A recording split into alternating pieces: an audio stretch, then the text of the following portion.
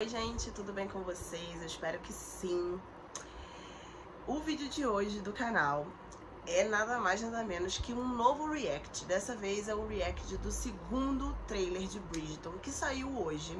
E gente, eu devo dizer que esse trailer mostrou tudo e mais um pouco. Eu tô maluca, desesperada, mais ainda para ver essa segunda temporada. Tô muito ansiosa para encontrar o meu Anthony maravilhoso, que eu tô morrendo de saudade. Inclusive, eu estou relendo o livro para chegar quentíssima na, na, na, série e não deixar nada passar, sabe?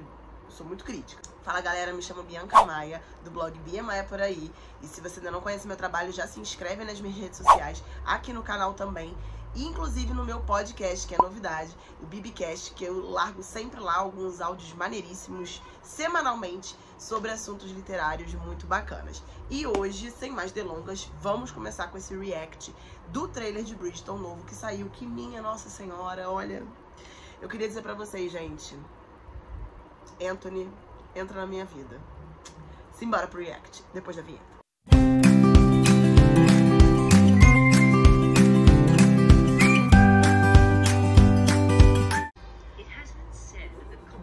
Bom, a gente já começa aí com a Lady Isoldown contando pra gente sobre a nova temporada, os novos bailes, né? E a Lady Violet anunciando que o Visconde tá disponível, né? E aí começa a fila, né? Todas as garotas querem dançar com ele, aquela coisa toda. Aí a gente conhece as meninas Charma, né? A Kate e a Edwina, né? Os bailes com elas e tudo mais. E aí a gente tem aqueles saraus, né? E ela, né, a Edwina, que é a diamante da temporada, começa a ficar de olho no Anthony. Anthony maravilhoso, dançando com ela, aquele charme todo. Essa cena, gente, vou pausar aqui. Que essa cena do Anthony com o Benedict é incrível. Tipo assim, eles estão se barbeando, né? Cuidando da beleza, né? Não precisa cuidar, né? Inclusive. Mas a gente vê eles falando ali sobre é, casamento, né? Que o Anthony se sente muito pressionado, porque ele tem que ser o novo Visconde, né? No lugar do pai e tudo mais, aquela coisa de papel ali familiar. E aí o, o Benedict brinca com ele e fala assim: ah, você tem que conhecer a irmã, né? Tipo, é, a irmã da Edvina, porque todo mundo sabe que para passar, para conhecer a Edvina, você tem que passar pela Kate. Vamos continuar com, com, com o React. But any suitor wishing to gain an audience with Miss Edwina Sharma must first tame Olha aí o que eu falei, né? Tem que passar pela irmã primeiro. Essa cena, gente. O, o, o Corge, gente. Gente, olha, duas cenas maravilhosas, né? A gente vê primeiro o Corge, a, a Kate chegando pro Anthony falando que o, o Newton, que é o Corge, o cachorrinho dela, que ela, ele sabe muito bem. É, como é que eu vou dizer? Ler as pessoas, né? Ele consegue ver se aquela pessoa presta ou não presta. E aí, na mesma hora que o Anthony olha pro cachorrinho, o cachorrinho late pra ele. E aí ela fala, tá vendo? Viu como é que você não presta? E de, logo depois a gente tem também uma outra cena maravilhosa, que é quando o Anthony chega para cortejar a Edwina. E vocês veem que tem uma fila atrás do Anthony, né? E aí vocês observem bem que a porta é fechada na cara do Anthony. E aí ele fica ali, putz, mas eu sou um visconde, cara, eu tenho título e como assim eu vou ficar na fila? Tipo, você vai ficar na fila aqui. Você não é prioridade, mesmo sendo visconde. Vamos continuar com o react. Anthony will need all the help he can get. Olha, Daphne com o baby, gente, que lindo. Daphne, a, a Eli tá maravilhosa. Jogo do pau mal, gente. Gente, a implicância deles no jogo do pau mal é sensacional, né? Primeiramente porque a gente sabe que a Kate vai roubar o taco, que é do Anthony. Ele já vai ficar bastante bravo com ela com isso.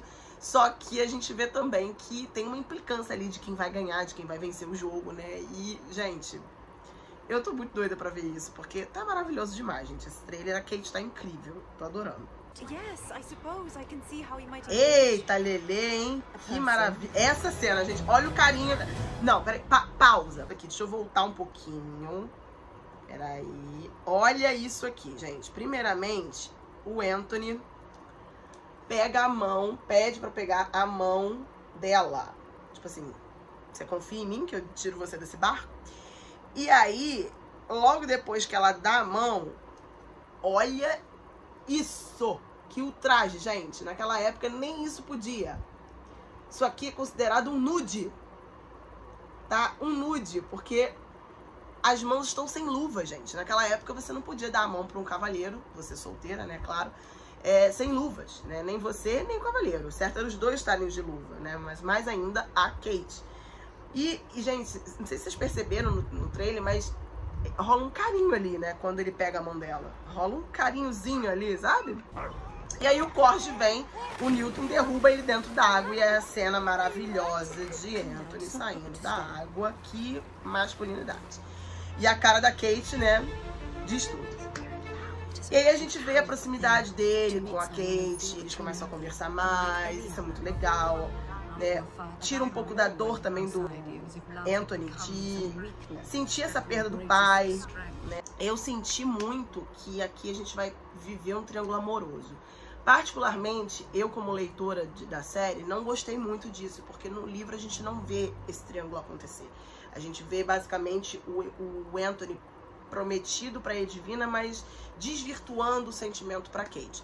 Enquanto que a Edvina começa a sentir que não tá sendo mais o destaque ali e começa meio que se interessar por outra pessoa.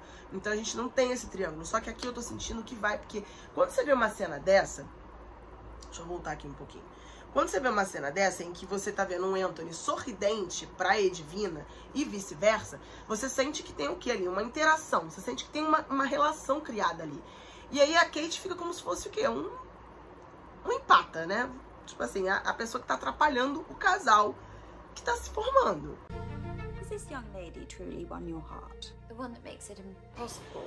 A Daphne dando conselhos para ele e aí a frase que ela fala e a olhada que ele dá para Kate. Essa parte eu achei incrível, porque casou muito bem com o que a Daphne tá falando para ele. É porque tá em inglês, mas eu vou falar para vocês. A Daphne fala pro irmão o seguinte: Você ama muito essa mulher?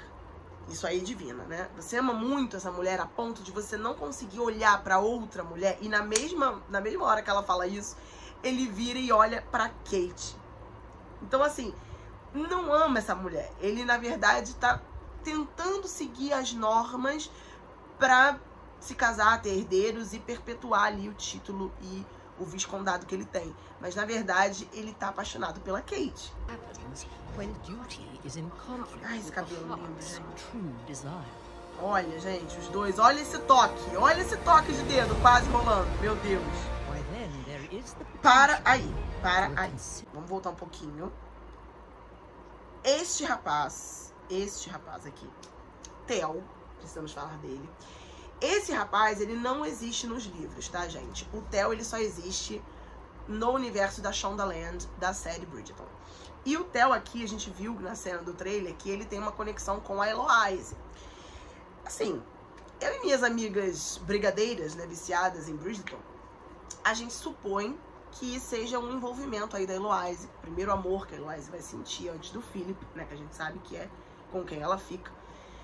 Mas a gente acha que ele vai fazê-la de boba, que a gente vai ter uma decepção amorosa pelo lado da Eloise. E aí começa, talvez, uma possibilidade dela se comunicar com o Philip pra falar sobre isso, pra desabafar, né? E criar esse vínculo entre os dois antes de rolar algo a mais.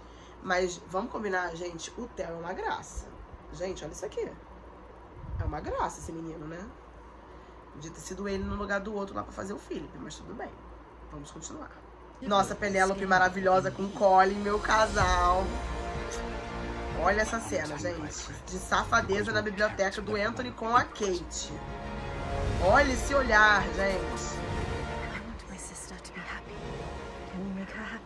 Olha, eu quero que você faça minha irmã feliz. Você vai fazer ela feliz? Gente, tudo esse trailer.